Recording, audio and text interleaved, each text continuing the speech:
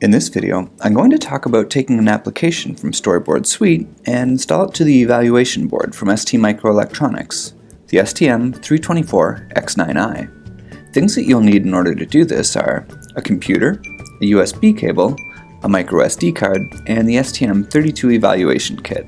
Part of the evaluation kit includes a bin file image that we write to the board using the ST-Link utility. Also, there are three storyboard samples, the cluster, oven, and medical demo, that are apps which get prompted by the SB underscore app to run on the target from an SD card. With Storyboard Suite, in a matter of minutes, a user can take a design from Photoshop and create a new project with animations, screen changes, and other features. Then, export the project to an SD card that can run on the target platform.